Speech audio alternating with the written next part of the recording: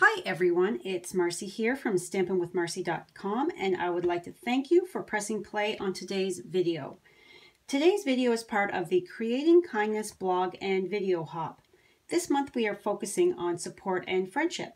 The card that I'm going to be creating with you today is one I created to celebrate a family member's accomplishment. I'm using the adorable Color Me Happy stamp set that was released with the Stampin' Blends markers that are now available in my online store. They have um, 12 exclusive Stampin' Up! colors. In um, They are the alcohol-based markers, so uh, if you like to color, you absolutely need these in your stamping stash. I'm also using this little, um, I'm not sure what you call it, the little burst there to uh, highlight the uh, celebrate sentiment to make it really pop. Um, and I'm using the Color Theory um, Designer Series paper stack that is available in 6x6. Uh, and my uh, cardstock is my thick Whisper White that I always like to use for my bases. And then I'm using Crushed Curry uh, cardstock and crushed curry baker's twine and some iridescent ice sequins. So let's get started. Just get this stuff out of the way. Okay, so all of the measurements will be found on my blog.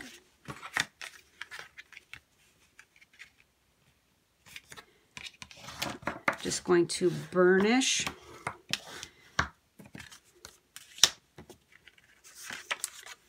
Okay, so when I am stamping and I'm putting a piece of DSP across the bottom of my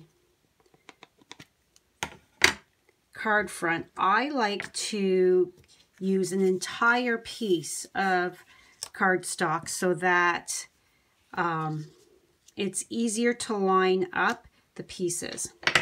So when you are using the new alcohol-based markers, you need to use the Memento ink so that your colors don't um, smudge and bleed. So by placing the DSP across the bottom, I can tell exactly how high up I need to go to stamp my image. So that way it gives me a bit of a um, idea as how high I can actually go with that.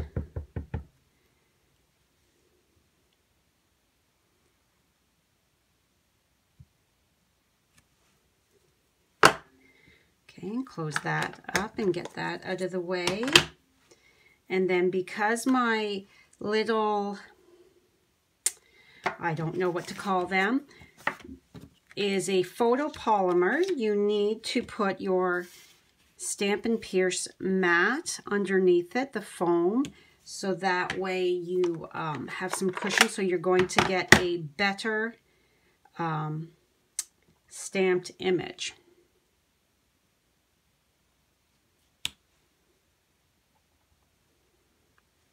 Okay. Just like that.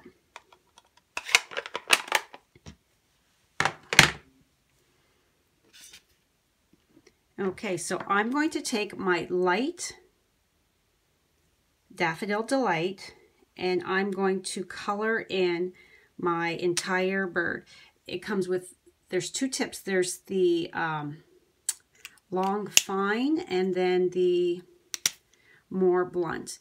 And you'll hear the click. You really need to make sure that you um, hear that so that you know that your marker is completely closed because it is alcohol based. It will evaporate. You wouldn't want to put them away, think you have the lid on, and then come back to use them the next time and it be dry because the lid was not on secure.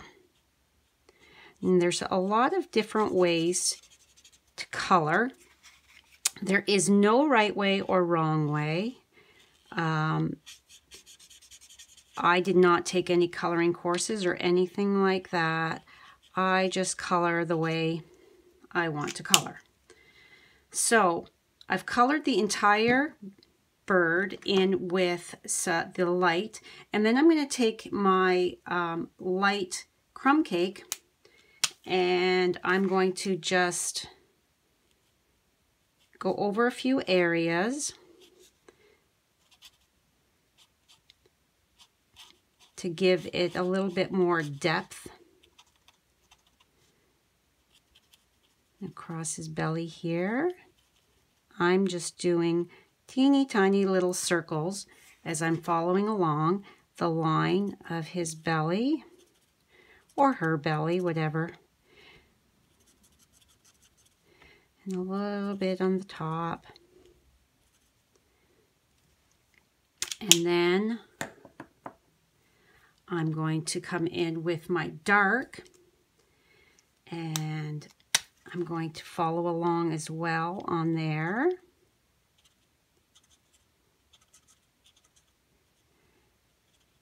Birds are not one solid color. So I like to add a little bit here and there, different shades to really break up that solidness. Okay, and then I'm going to take my light again and I'm going to go over the entire thing to help blend those colors together.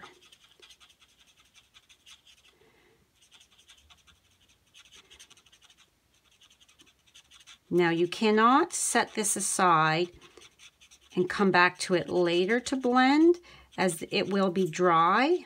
So you really need to do any of the work you want to get done with it right off the get-go.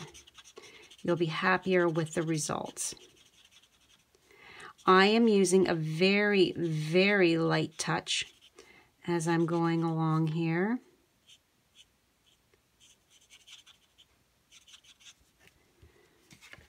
And I'm turning my work as well.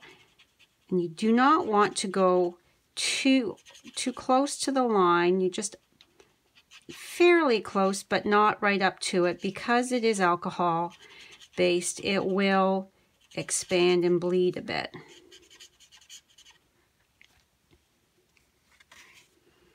And then as it dries, the color will change a bit as well.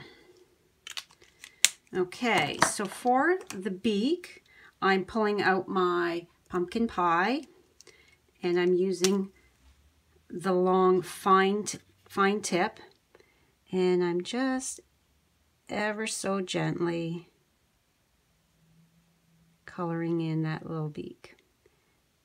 Now, I found with the little feet, they're so tiny, I found that I couldn't get the even the fine tip to um, color that in without bleeding through. So what I did on my card is I just took my pumpkin pie watercolor pencil and made sure it was sharp and then colored in the little feet so that way it's not uh, bleeding through. Now you'll notice on my card here that I've got it so that it's there's a bit of a shadow so that the bird is not floating along. So what I did for that is I took my light pool party and I just went along a little scribbly and then in here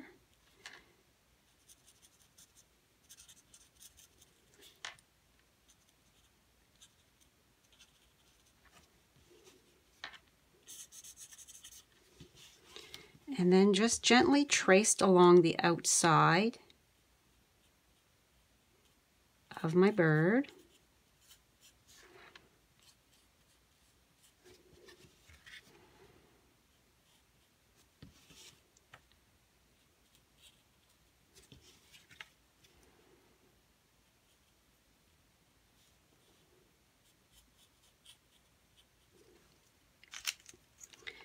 And then I took my color lifter. And this is like a blender as well. So if you've gone outside the lines and you want to clean that up, you use this. Or if you want to lighten up your color, you use this. Being careful not to go over the bird itself. I'm just wanting to lighten up and blend out that light pool party.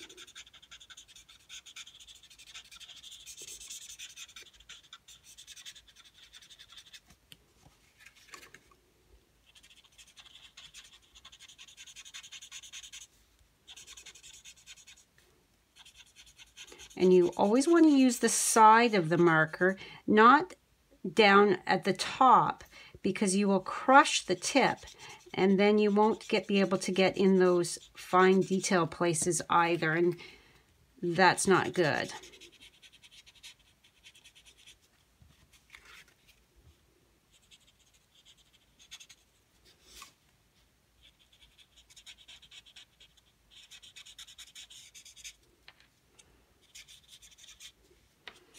Okay, that will dry. Okay, so now I'm going to assemble my card. A little bit of my Tombow.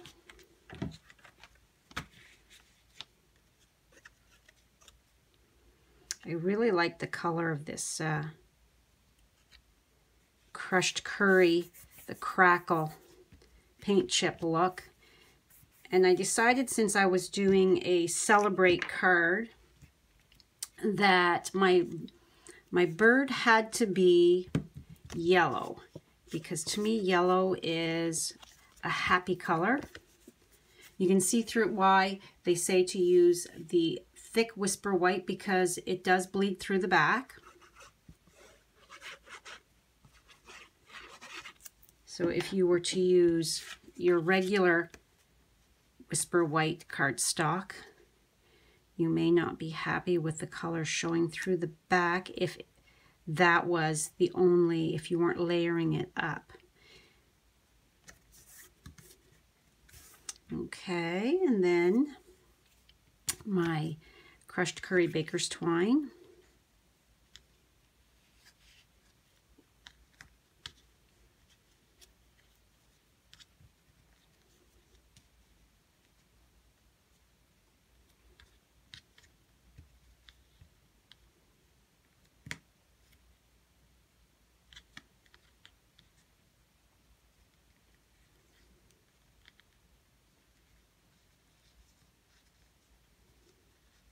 Fumble fingers today.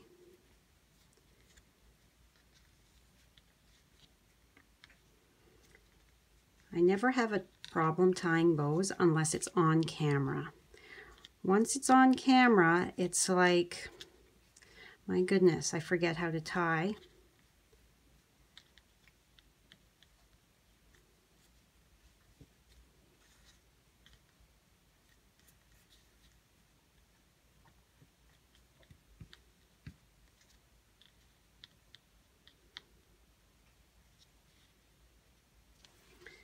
Okay.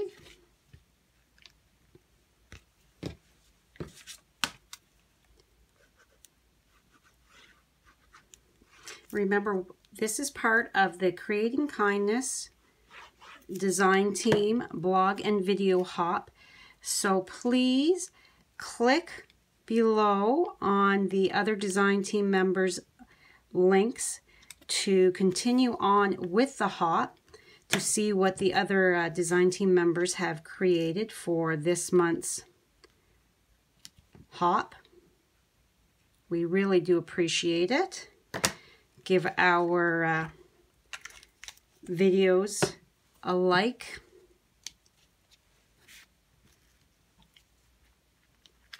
Stop by our blogs and read our complete posts.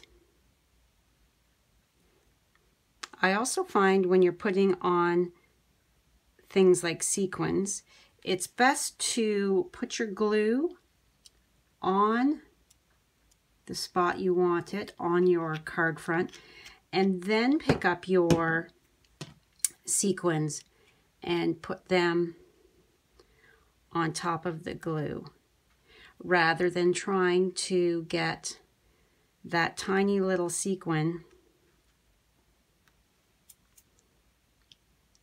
picked up when you've got glue all over it.